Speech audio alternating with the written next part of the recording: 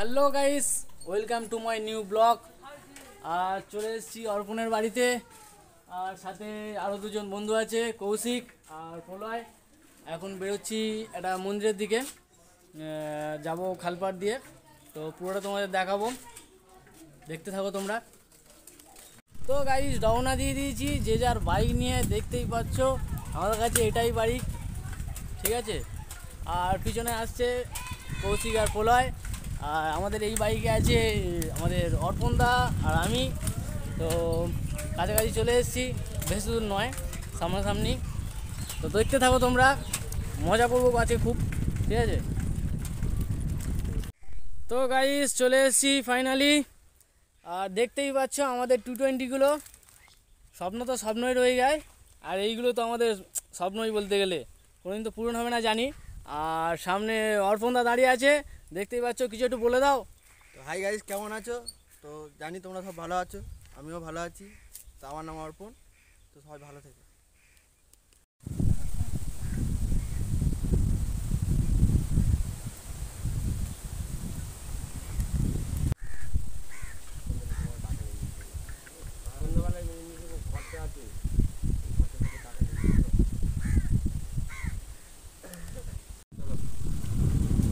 সামনে শুধু ভিউটা দেখো।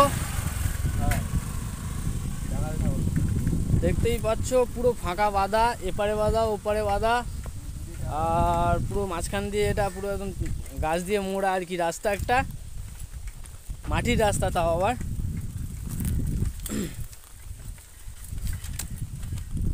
খুব সুন্দর লাগছে জায়গাটা। সবাই দেখো। এখন বাজে দুপুর বারোটা। বারোটার সময় শ্যুট করতে এসেছি। আরে দাঁড়াবি তো আমি উঠবো তো নাকি?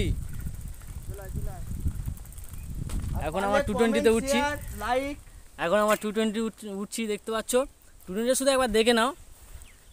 আচ্ছা গাইস তোমাকে একটা কথা বলি। যদি ভিডিওটা পছন্দ লাগে কমেন্ট শেয়ার লাইক আর হচ্ছে সাবস্ক্রাইব কোনোটা করতে ভুলবেন না। ঠিক আছে? Thank you. থ্যাংক ইউ তো আমাদের টু টোয়েন্টি করে যাচ্ছি এখন।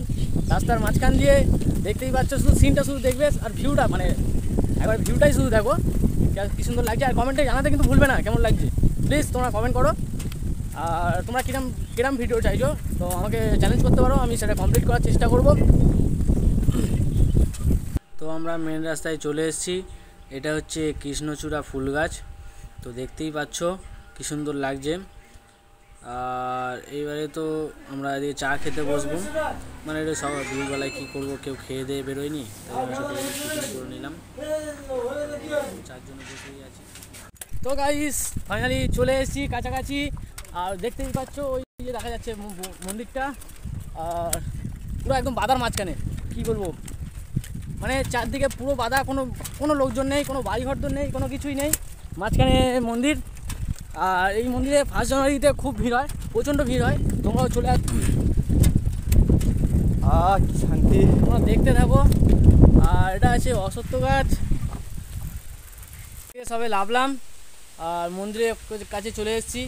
তো বাইকটা পাশাপাশি রেখে দাও কৌশিক দাদা।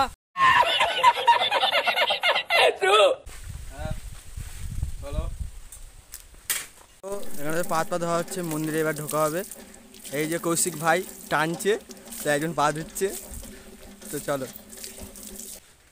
এবার পুরো মন্দিরটা আমরা ঘুরে দেখাবো তোমাদের।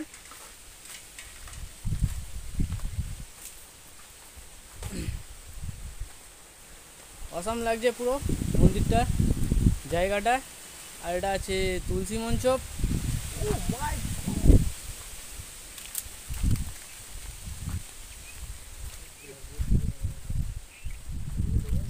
পুরো মন্দিরের ভিউটা দেখাবো তোমাদের।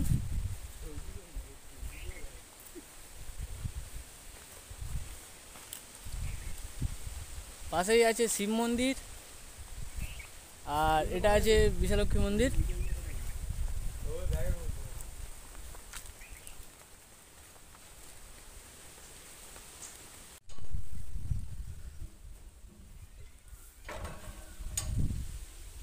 মন্দিরটা দেখা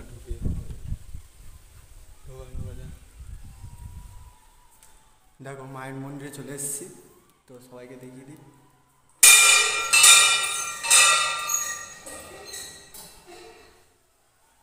মন্দিরে মায়ের মানে খাট মা এখানে থাকে। তো দেখো, মাকে দেখে না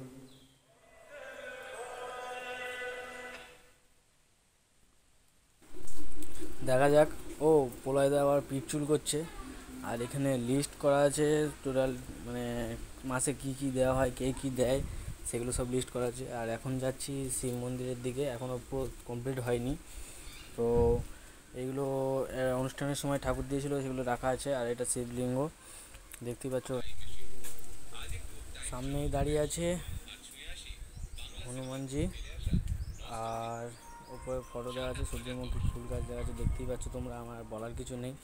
তো আমরা বাদার মাঝখানে তো চলেই এসেছি, তুমি দেখতে পাচ্ছ পুরো এই দুটো জোড়া মন্দির পাশে শিব মন্দিরটা নতুন করে হয়েছে, কিন্তু এটা প্রথমে ছিল একটা ওই গাছের তলায় ঠাকুরটা, তো পরে এটা সারিয়ে ওটা নতুন করে তৈরি হয়েছে।